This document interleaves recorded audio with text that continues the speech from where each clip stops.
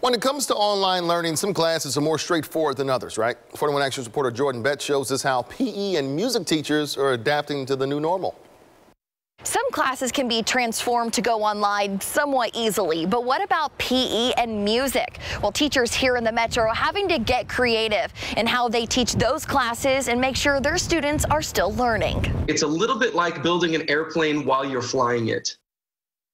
And that's really what we're living right now. For music and physical education teachers, teaching online is new territory. Trying to encourage them to, do, to already to do the things they, they like to do and then maybe give them some more content. PE teacher Kristen Mallory from Southwest Middle School in Lawrence never imagined she would have to do something like this.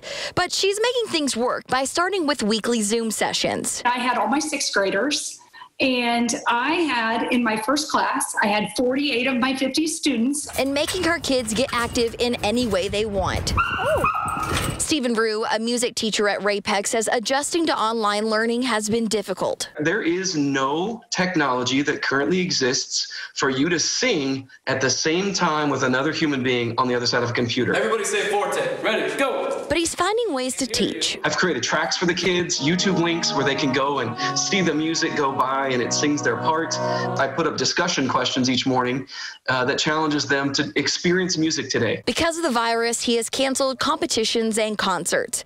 But he has hope for this new normal and being together again. I'm just telling them that I feel for him and, and that I, I know that we're going to come back together sometime, even if it's in June even if it's in July, we are going to sing that music we were supposed to do for contest on, on this Saturday. Jordan Betts, 41 Action News.